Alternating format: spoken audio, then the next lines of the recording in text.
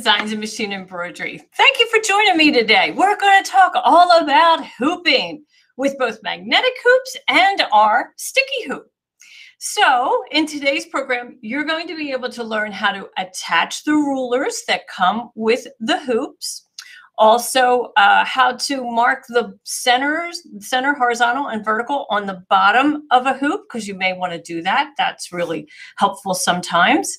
Um, and we're going to hoop a, a onesie, some denim t-shirts, not denim t-shirts, some denim, a denim jacket and denim pants. And um, then we're going to do some t-shirts and, and, quilt sandwiches and so forth. So hello, welcome everybody. Thanks for joining me today. It's really great to have you here. Hello, Alicia. And uh, let's see, St Stephanie Hardy from Virginia. Great to have you here. We're working in a new platform today, so um, you're going to see your comments right there on the side, which is really helpful. And uh, we're going to stretch our skills here in this platform. We're learning this. Hello, Isabel Briand from France. It's so nice to have you here. Uh, so many of you ha have been watching every weekend. I'm really grateful for that. So if you want to know when we're going live, you know, like us on Facebook, subscribe to our YouTube channel so that you will be notified when we go live, which is every Thursday at one o'clock.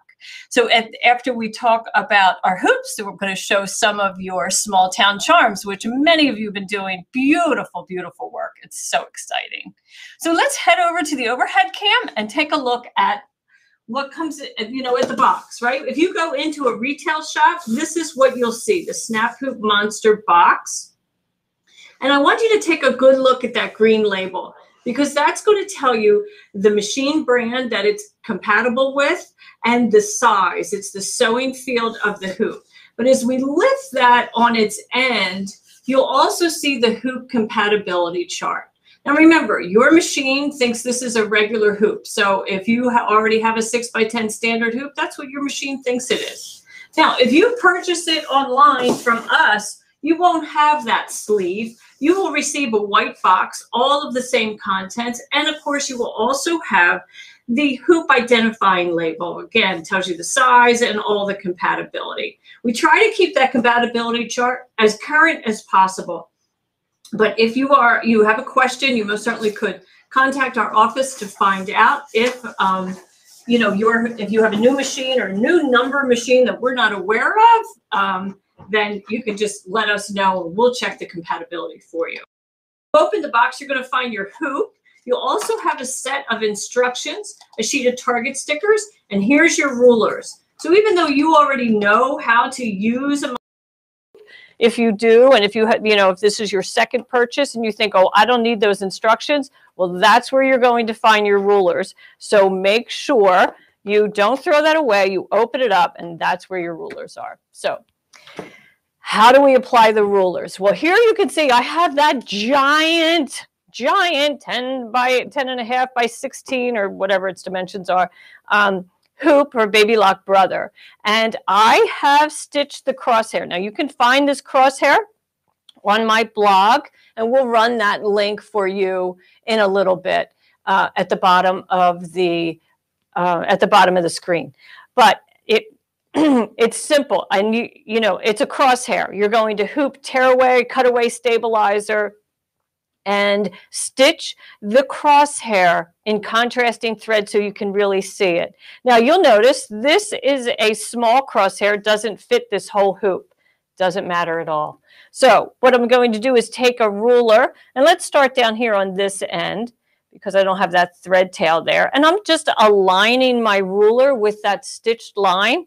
And then I'm going to take a Sharpie and draw it all the way out.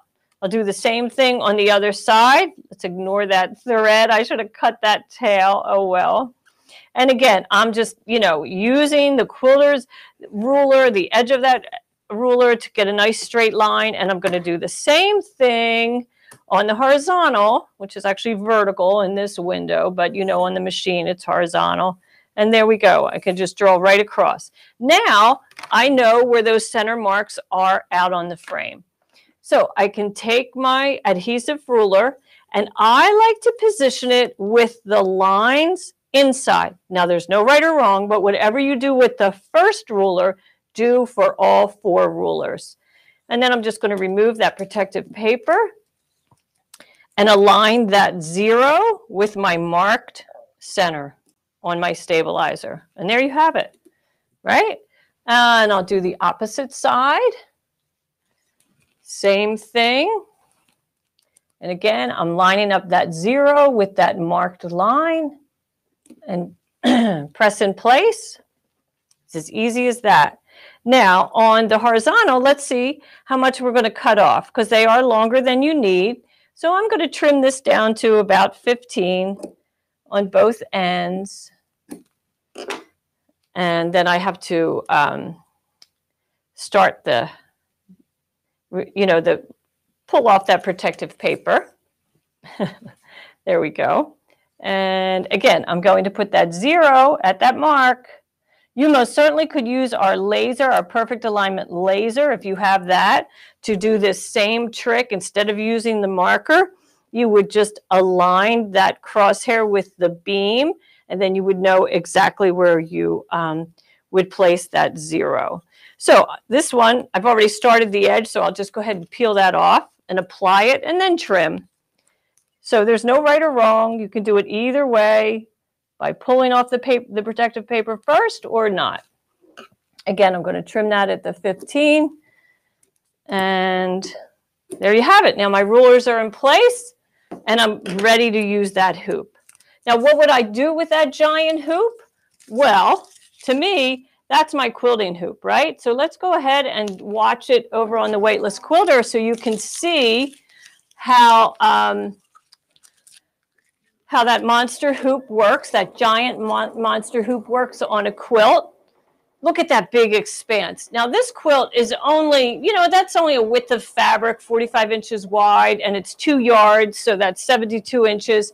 Boy, but in that giant hoop, I could probably quilt that entire quilt in about, you know, maybe two hours, maybe three hours. I mean, that's a really large sewing field, and I'm probably only going to have to rehoop three, maybe four times across the width of the fabric. Judy Whitaker, you want to know if it's uh, possible to purchase extra rulers? Yes, it is. We have them for sale on our website, and they're very reasonable. Abs absolutely, so much. So, I mean, so so reasonable. Uh, okay, so I'm to let you watch that a little bit. I'm just always fascinated by the weightless quilter, isn't it? I love to watch how it just kind of wiggles and, and moves around, stays out of, keeps everything out of harm's way. Okay, so let's now move on to a four by four hoop. and you'll notice that every hoop, when you open your box, every hoop has what we call a magnetic shield. And that's this corrugated plastic that lives in between the top and bottom frame. It's a good idea to store your hoop with that in place because it makes it easy to separate the top from the bottom. And you can, you know, hang this on a hook. I mean, it's a, you know, helpful tool. It's also great for transporting the hoop, and I'll show you that in a moment. But now, maybe you'd like to mark the bottom of your frame. You don't really need rulers for that, but I'm going to show you what I would do. I would place my uh, top frame on the bottom frame, but not aligned at the top. And what I'm doing here, I'm going to put this so we don't have too many lines to confuse you. I'm going to then take um, a Sharpie, that a permanent marker, and I'm just going to make a mark that's aligned with this zero. And so when I do that, you know, I know that that's going to be marking the center vertical of my hoop. And then I'll do the same thing right to left. And I just keep an eye on, make sure that I am aligned top and bottom because that's what's going to give me uh, the proper center mark. And I probably have my head right in that camera, didn't I? Okay, same thing here. Now I know if I'm, you know, if I need to find the bottom, if I'm going, I mean, the, the centers of the bottom frame if I'm using PAL or something like that. It's just really handy to have that. Okay, why don't we hoop left chest? Uh, I have a t-shirt that's already marked with a template and I have our no-show mesh fusible is applied to the wrong side of the t-shirt. Now I have a couple ways that I can hoop this. And the one that I most often do is I just lay the garment flat, already have that stabilizer in place, and then I work the bottom frame into the shirt. I'm going to move this out of harm's way. And I can just feel the edges, you know? I mean, the shirt's a slightly translucent, so I can see um, underneath or through it. And then I just place that on top. That's pretty good. And because this is a flat hoop, I can pull that fabric and make it nice and taut. It has that no-show fusible on it, so I know I'm not going to uh, stretch out the fabric, and I'm also not going to distort the fibers. Now, to go to the machine on a flatbed machine, I need to turn this garment inside out. So I'll just lift everything up over the hoop itself. I even turn those sleeves wrong side out because I don't want to catch one of them in uh, the frame or in the stitching. And then I have my magnet shield underneath and that's how I transport my hoop to the machine. And of course, I'm going to flatten all of this out to bypass the needle and then open it up. And then, you know, this is a big adult shirt, so I don't have to worry about that falling into the, into the sewing field. Super easy, right? Okay, let's see. I'm reading some of your questions. My instructor said to position zero in the center of every center. Okay, not sure what that means. Let's see. I know some of you didn't know how to put them on. You put them on incorrectly. They are very uh, inexpensive to replace, so you might want to do that. I don't spend, you know, I don't, well, I don't use the centering marks all that often, but that's my situation. Okay, let's talk about a onesie. These are so popular to make for newbies, toddlers, and the like but they could be a challenge to hoop. Um, so let's, I already have my placement center chest. You know, you don't often do left chest like on a onesie because the chest is just so tiny, right? So you're going to do center chest. And I have fused my no-show fusible to the wrong side. And hey, by the way, all stabilizer at Dime is on sale this week, 20% off all stabilizers. Hoops are on sale all month but stabilizers just this week. Okay, so I have that marked. I'm now going to turn it wrong side out. So here you can see this is the front of the garment, the wrong side. And I'm going to place, this is what I'm calling the design area, right? The, the right side of that. So I'm going to place that design area right down on the hoop. And because I now have those centers marked on my hoop, I can kind of line up that center vertical center. And then I'm going to take my magnetic top. I'm going to attach a hoop guard to the front of the hoop. Now, hoop guard is sold separately and it just snaps right into place. The channel is the same dimension as the magnetic frame. So it just stays right in place, not going to fall off. Love that thing. Okay, so now I'm going to insert this through the neck and immediately, of course, you can hear it snap down. So I could separate it a little bit. And then I can peek inside and see how close I am. Not too bad. And then just pull this over. And there's my sewing field exposed. When I go to the machine, I flatten this out. Really, I would take it like this, bypass the foot and the needle, and open that up, center my needle, well, rotate my design and then center my needle over that target sticker and I'm ready to roll. I love hoop guard and a four by four hoop for that very reason. That just takes all the guesswork out of it. On a multi-needle machine, of course, they're super easy to use, but if you have a flatbed only and you have to do onesies, that's an easy way to do it. And again, because you have that fusible no-show on the back of the garment, and you're in a flat magnetic hoop, you don't have to worry about any fiber distortion, which is awesome. Okay, so let's see. Let me, I'm going to move on to a bigger hoop, to a five by seven. So I'll just move that out of harm's way and bring up some items for the five by seven. So let's start with this denim jacket. And what I want to show you on the denim jacket is, now I did buy, a, well, I didn't buy, but I took them out of the warehouse, extra rulers to mark on the bottom, attach them the same way. Um, just really handy to have. So here's a, a denim jacket. And these are a challenge, right? Because we have rivets and snaps and metal buttons. We have multiple layers of fabric, all these um, felted seams, pockets, and so forth. So you would lift the pocket, uh, the pocket bag in the back and pull it away from the design area.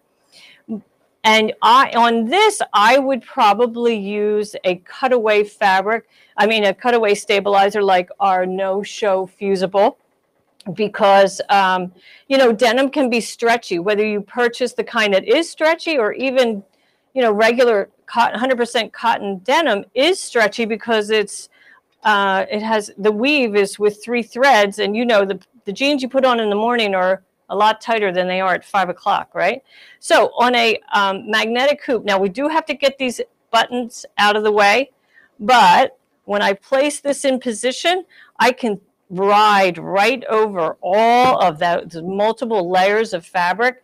I can pull this fabric nice and taut and make sure it's flat in the hoop. I don't have to worry about all these ridges. I mean, you could never do that in a standard hoop. So that's one way to attack uh, denim jackets. Really super easy to do. All right, so let's pull that away. And, and then I have jeans. So we have a couple ways to look at blue jeans. So here is a pant leg that I have already opened. And I want you to see that I haven't opened it all the way. I leave it at the hem a little bit because then I don't have to worry about closing that at the hem. You know how messy that can get, right? So I have opened this up just above the knee. You have to remember, you're going to have to be able to um, you know, to close it up later on. So you don't want to go too high. So on these, I, I didn't do this, but I would have fused the no-show mesh and extended it beyond the design area, probably, so that it would definitely be captured within the hoop itself. And then I'm going to flatten all this out and take my metal frame, I mean my magnetic frame on top, and just position that inside. I want to make sure I only have one layer of denim. There we go. Now, we have lots of ways to rotate designs. I'm a little low, so let's separate that and pull these jeans up. There we go. Now I'm clearing that. See, you don't have to be a really good hooper. Is that such a word? It is in embroidery, right? Because you you know you can pull on the fabric. I mean in a standard hoop we're forbidden to do that right? We're tempted but we're really not supposed to. But in these hoops these flat magnetic hoops so strong so dependable and so flat that they won't distort the fabric. And of course i would just center my needle over that target stick i mean over that template which is printed on our print and stick target paper remove that and of course it's reusable so i can reuse that as many times as i want now, let's move over to a larger hoop. I'm going to go to a 8 by 8 This is a really popular size hoop. So let's take a look at the 8 by 8 This is a 200 by 200 and that comes uh, is available for Baby Lock and Brother, Pfaff, and Viking, and also Janome. So um, it, it, you know it, it's very versatile. I originally always thought about it with quilt blocks but actually for a lot of garments it's really very handy also. So let's go ahead and take a look at a t-shirt. This is a big design. This is a design from our friends at embroidery library um, and it looks great in metallic says shine on and of course again you're going to see you know on lots of garments, I'm going to use that no-show mesh, that fusible no-show mesh, because it, it's just comfortable next to the skin. It eliminates the stretch in the fabric. And once the embroidery is complete, I can heat it up to reactivate that adhesive again and loosen it so that I can trim that excess stabilizer. Okay, so I'm going to, now this is a big hoop, so I'm probably going to insert this from the bottom and I'll place the attachment through the waist. This always sounds like this is going to be so easy when I'm preparing it. There we go. And there we go. So now, because I have my centers marked on the bottom hoop, I could just kind of eyeball that and see how close I am. You know, I'm going to be able to perfect that later on, right? So I don't have to worry about it too much. And I can feel my frame. So I have a little bit of leeway that way. And then I'll just take that top frame, place it over the metal bottom, keep my hands out of the way, and then pull and tug on that fabric. Make sure it's nice and uh, wrinkle free. And again, we are definitely going to nest this whole shirt above the, the hoop itself. So I have my, I'm inserting my hand inside. And when I do this, I'm holding on to, here, I want you to see, I'm only holding on to the frame. Look at the back. I'm only holding on to the frame. I'm not putting my hand underneath this design area because that's going to dislodge the fabric. And so this is when you really have to be careful with the hoop, when you are manipulating the garment at this time. After you get that all set, you can go ahead and put that magnetic shield underneath that t-shirt. And now when you go to the machine, you don't have to worry about dislodging anything uh, you know, your fabric from the hoop. So again, I'm going to flatten all this out. Now here's my attachment and it's actually going to go onto the machine in this fashion, right? So this is going to be the, uh, the bottom of the hoop and I'll bypass the needle and so forth. And then I'll just open everything up. Could I use a hoop guard here if I wanted to? Uh, um, we don't use the hoop guard on the same side as the attachment we would put that on this side. It's always opposite the attachment. But you know, this is a, a, a woman's large or extra large, ample open area. I wouldn't really worry about that falling into place. You could clamp, you could pin, but I don't know, I've stitched a dozen of these, not really that big of a deal. Okay, now let's look at a, uh, what is the design printed on? Jessica Staggers wants to know. Well, the design, that paper is our print and stick target template paper. So it's sticky, it's translucent, and it goes right through both a laser printer and also an inkjet printer. It, they are really, really handy. You use them for everything, quilting, for garments, you name it. Okay, so let's, uh, oh yeah, I want to do a, a sweatshirt. So uh, let's take a little look at this sweatshirt it has just one design element on the garment, and that's that uh, top stitch seam that goes across the back yoke. So if you're going to put lettering on a garment that has a design element like that, that so when you wear uh, a shirt with a horizontal line on it, that's what the eye uses as the alignment, right? The placement guide. So do that. Use the base of the of the design or the text and sit it right on that top stitched line so it creates a baseline for your text. You know, and where's this from? Probably Target or something like that. Now, is this perfectly horizontal? Is horizontal on the garment? Eh, it might not be, right? It's from Target. Don't worry about that. Worry about aligning it with that mark. That's what everyone's going to look at.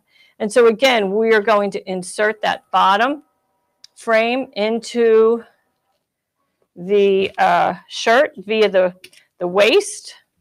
And I'm going to pull that attachment out of the neck. And when I do that, because I have hooped, uh, I have marked my bottom hoop. Let me get this in the frame so you can see. Because I have that mark on my hoop, I can see I'm pretty well aligned, right, with that vertical center of the garment. And then I'm just going to drop this in place. I want to make sure that I have everything aligned and I'm going to use that top stitch line and make sure it is hitting the ruler at the same point on both the right and the left. And it is. It's just at like just under that 2.5. That's all I care about. I really don't care about whether that's inches or metrics. I just want it to hit at the same line. So now I know when I stitch this and take this to the machine, as long as I align my needle with the center of that template, then it will stitch square on the garment. And again, I'm going to turn that all right side out. Uh, uh, no, wrong side out. And I'll use that uh, magnet shield to protect the garment as I move it across the sewing room. Okay, so let me see some of your questions. Does the stabilizer on these shirts need to only cover the design or does it need to be as big as the hoop? Stephanie, it should be as big as the hoop. It's always a good idea to fill the hoop with stabilizer. In fact, you want the stabilizer to extend, you know, about an inch and a half on all four edges. I know we're often tempted to skimp on stabilizer, but that's really what gives the um, the garment, the project, the foundation that it needs to stitch on. So definitely, you want to make sure that you um, fill that in there. Let's see. Okay. Now, are there other questions I should be checking out here? Uh, yeah, Judy Whitaker, you love that print and stick paper that it works on lasers. Yeah, me, too, I do too. But also the inkjets. I mean, you know, I, the printers at home, uh, they're a daily nightmare, right? I see, I, I wonder if if there's gremlins in my house that on the day I have to work at that I'm working at home and I have to print a couple templates, the printer doesn't want to cooperate, but we get through it, don't we? So let's see. Can you add or should you add stabilizer after stitching to eliminate the bobbin thread from causing itching? Yes, um, but I do that. So take it out of the hoop, obviously, and trim the excess stabilizer. And then I apply a layer of Fuse So Soft, which is our um, tricot interfacing. It's like a tricot interfacing. I cover the bobbin work with that. I do that on most certainly all children's garments and also my own garments, you know, if it's going to be right next to the skin. I don't really bother with like denim uh, jackets and so forth, but t-shirts, absolutely. And let's see. And OMG, Dana wants to know, does this monster food hit uh, fit Brother Quattro 2 6700D? Yeah, we have tons of hoop for your hoop sizes for your Quattro. Everything from the four by four up to the nine and a half by 14. I think, Dana, if your Quattro takes a nine and a half by 14 standard hoop, then you can use ours. Let's see. And Steps, you use the remaining stabilizer for smaller things like the four by four hoop stuff. Brilliant. It's exactly what you should do. Definitely. Okay, so let's move over to, if you have any more questions about Monster Hoop, make sure you post them. I'm happy to answer them, but also let's move over to um, sticky hoop because that's a, a whole different concept, right? And that's just stabilizer based. So sticky hoop is, um, it's also recognized by your machine. This is the one for uh, 5 by 7 Baby Lock Brother who takes um, a different kind of hoop than the ones that I've been showing. This just snaps down. And it comes with 25 sheets of peel and stick adhesive stabilizer.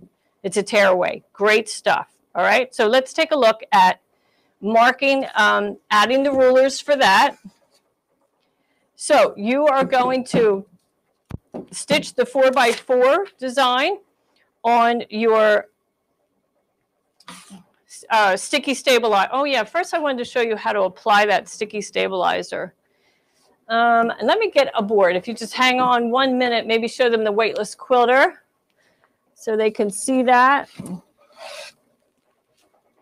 And I'm going to put this board here so that you can just mimic, uh, you could use a the edge of your table. And basically what you want to do is turn your hoop over, right? Your, your uh, sticky hoop and position it so that this attachment is laying off the edge of your table. So you see my hoop is nice and flat on this surface and that attachment's hanging off my table. That, that's what I'm trying to do for you. And then you're going to take a piece of the um, adhesive stabilizer that comes with it, and you're going to place that. I actually don't think I really want to do that right now, but we'll see. And so you're going to place the protective paper, the shiny side up, underneath the hoop, right? Place that right there. And then take your sticky stabilizer and place that on the back. And because you have that protective paper, now I already had a piece of stabilizer on this hoop, so imagine if you were doing this without that. And then that's there to protect that until you know you're ready to hoop. So then you go to the uh, machine and you stitch that crosshair, which you can download download from my blog. And again, if you feel that you need the marks to be closer to the edge, feel free to um, to do that. And we are going to cut some of these down because we know they're not going to need all that distance. So we'll cut that at the eight. And once you have these in place, you know, they're not going to come off. You're not going to uh, have to reapply these. Now, when you are removing this, the sticky stabilizer from the back of this hoop, you know, you just want to use Gooby Gone, and you want to do that so that uh, you don't mar, you don't wet these uh, stickers on the top, because you'll want to protect that from that goo, that Gooby Gone. That's what I use to remove um, the excess stabilizer from the back. And you know what, I'm going to come up in this fashion. I'm going to cheat this way. So now I'm just aligning my vertical line on my ruler with that stitched line. And I'll just make sure that that's aligned with my ruler. And there we go. And you're going to do that on all four sides, okay? We don't need to do that again. You've already seen me do that. Same idea, very same idea. So now, what are we going to use that for? Well, it's great for things that you absolutely can't hoop, like you know, a jewelry case or a cosmetic case like this. You can't get that in a hoop. So now when I go to the machine, now this comes with a board underneath, you know, this, you don't get rid of that because you'll use that board as a device to transport your hoop. And I do have one here behind me from a bigger hoop, but that's how I would transport that to the machine. And again, you're going to position your needle right over that target sticker. Now, when you apply an item like this to the hoop, don't, you know, inadvertently do it this way because that's how you're going to have to try to clear the foot, right? So make sure that all the business of a case like this is in the front of the hoop so you never have to bypass the machine, uh, the needle and the foot. Okay, so that's kind of a fun uh, thing. I love those cosmetic cases. They make great fast gifts, don't you think? And then what else do, oh, I wanted to get those denim jeans and show you how you could do a pocket, which is very difficult to hoop.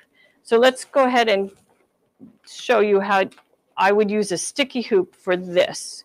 So here I have a template already positioned on my pocket.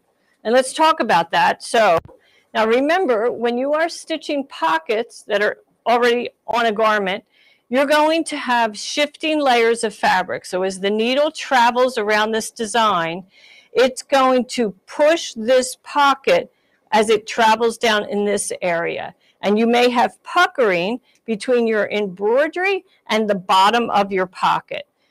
So what you should do, well, you have two choices. You could remove the pocket. Ugh, who wants to do that, right? Or you can just fuse this shut. So use some fusible web like our Fuse Me and put that inside, fuse it permanently closed. You're going to lose the use of the pocket, but 99% of women don't put anything in their back pocket, so that's not a problem. And then just use your sticky hoop to center that template over it and then transport it all to the machine. Now, of course, when you're doing that and you're at the machine, you're going to have just like a quilt you're going to have to maintain all this bulk right? You're probably not going to use a weightless quilter for that but most certainly keep this up on the machine bed so that it's not falling down and uh, falling apart on you. So because that will pull out of the hoop. All right i think we kind of covered everything. Let's see is there a sticky hoop for husqvarna viking and designer epic I believe there's a 120 by 120. Yes. And you got rid of your board from your sticky hoop. Yeah, well, I understand why you would. You'd think it was packaging trash, but you know, hoops are, you know, they're holes, right? They're frames, and we're putting a, a delicate material, fabric, in in that frame, and then we're going to transport it. No matter what project you're working on, you're almost never hooping at the machine unless it's a quilt, right? And we're rehooping right there. And does the sticky replace the monster block? No, it does not. The sticky, that's a whole different topic that we should talk about, though. Charlotte Turner is asking about our block maker, which is really a template that goes on top of a frame. So it's it's pretty different. Yeah. Okay, let's see. Is there a target target template web address for the stitch out? Yeah, so you can go to www.dzgns hash, uh, slash blog and when you get over to the blog, just in the search field, search adhesive rulers. And you'll come up to the blog post that gives you step by step instructions of what I just showed you. And also, that's where you'll find the link to download. And um, and possibly you could also find it on a DZGNS on the main page over by hoops, but I couldn't swear on that. Sorry. It's not in my job description. Let's see. Um, and we do, do we have sticky hoops for the Persona 100? We don't have sticky hoops yet for the multi-needle. We, you know, we call the Persona a multi-needle hoop, but it's a tubular machine, right? Just like a uh, multi-needle, meaning it does not have a flat bed machine. So that's what we mean when we say a tubular machine, for those of you who aren't quite uh, familiar with it. And uh, Sandra Sanders, there is definitely a Magna hoop for your flourish. So if you go over to DZGNS and there's a up in the, you can search for a compatibility chart and it will give you all of the hoops that are compatible with your flourish. But know that whatever hoops came with your machine, we most likely make a magnetic hoop in that very same size. And if we do, it will work with your machine. Mm-hmm. Do you use a special needle to keep it sticking to the sticky back? Crystal Campbell, we have not had um, issues with gumming up needles with our sticky. Now, it is an adhesive. So if you're doing a really stitch intensive design, you could possibly encounter that. But we, we use our Triumph needles and we match our needle to our fabric. So, um, hey, you want to see some small town charms? Should we do that? Because I know some of you have uh, some beautiful ones out there. But first, just a reminder all stabilizers are on sale this week 20% off. Hoops are on sale through the end of this month. So take advantage of it. Absolutely. Okay, so as you know, Small Town Charms have been start. We started in January. This was the January block. And then in February, we did a sweet shop and dress shop, the outdoor cafe. We did an April um, florist. And then this month, we did the town hall. And some of you, I mean, uh, everybody who's posted has just done an absolutely fabulous job. So this is my versions, right? The five by seven and the seven by 12. And truth be told, I have to admit, you know, I make these, and then when I see yours, I'm kind of embarrassed at mine. I'm like, wow, I should have done this, I should have done that. Everybody goes off in such great directions. It's just inspiring. So please keep it up. So let's see yours. Here is Cheryl McCombs. Oh, stunning, just stunning. I mean, she added clouds, she's got a kite, a butterfly, a tree and she quilted the background. I mean, it it's just lovely. She added kind of a landscape. She pieced two fabrics together, the grass and the sky. Yeah. Let's see. Oh, and Retha Ra- uh, Ranky, you said you missed May's. You do. You have to go get it. You absolutely do. It's still up there. And um, Sybil, you said the town hall is your favorite. You know, I see uh, several, I mean, several people have said that, that the town hall is their favorite. And Crystal Campbell, you're saying you don't see anything again. It's not showing up. So bear with us just a moment. Maybe we'll maybe we'll pull out of um, Sam, maybe we'll pull out this PowerPoint and then come back in. Yeah, they're not seeing the charms. They're not coming through. So just bear with us a moment while we get this tech. Uh, there it is. Okay, so now we're back. Awesome. So Cheryl McCombs, right? This is her. I know this is her creation. Isn't it wonderful? There's so much movement in hers. The kite string, right? That's adorable. That just looks fabulous. And her tree, she used kind of a mosaic print which is adorable. And I think her clouds have, have mylar. I'm not sure. That wasn't in the notes, but it kind of looks like it. Very well done. Chris Yost, she's got a hot air balloon and the sun shining in the sky. She's got a couple animals here. Let me pull that down so that um, you can see her, her background. Oh, how do I do that? Mm. Sam, how do I get that off? Thank you so much. Okay. And uh, so you can see she's got, I think it's a kitty cat and a, and a puppy uh, in the foreground. Isn't that awesome? Really, really well done. Yeah, I know. Stephanie Hardy, you love that sky on Cheryl's Town Hall. I, I, I agree. It's great.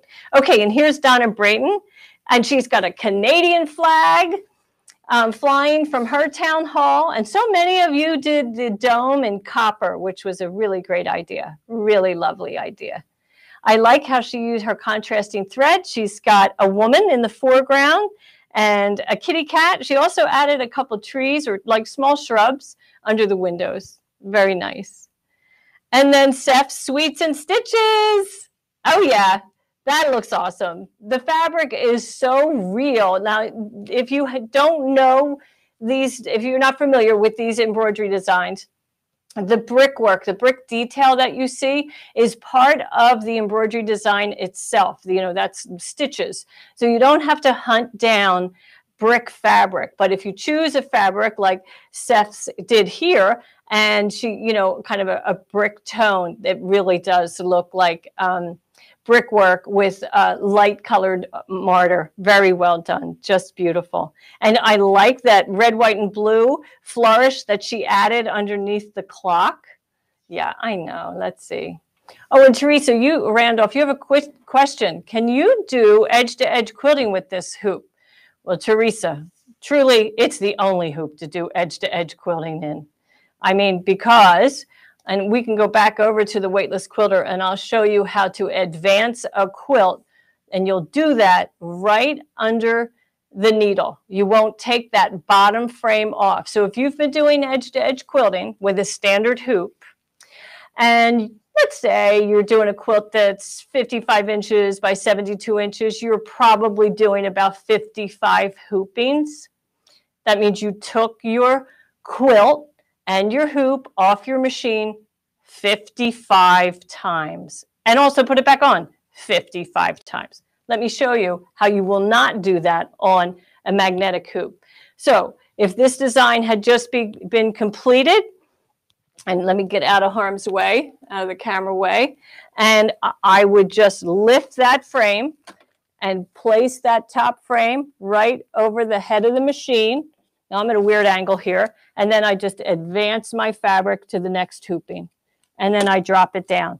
Now I most certainly would be using a template, like I have one here, right? I, I would have placed that in the proper position and moved my needle to that. Actually, I can show you how to do that right now. Why don't we do that?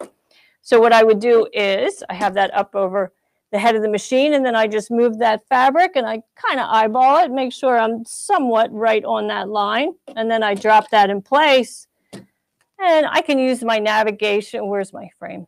I can use my navigation keys to uh, move that needle so that it is centered right over that uh, template and I'm good to go. And that's how I rehoop 55 times on a hoop on a quilt that size. So, yeah, they are really the only way. Okay, Dory Hobson, you want to know where do people find all the neat, tiny stuff to add on?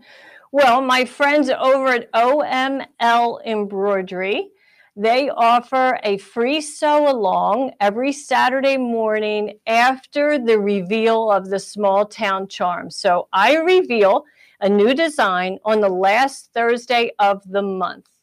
And then uh, on two days later, OML Embroidery on YouTube does a free sew along, and they often give away to anybody who's watching some minis that they add on. Other people, like I believe, um, let me flip back here.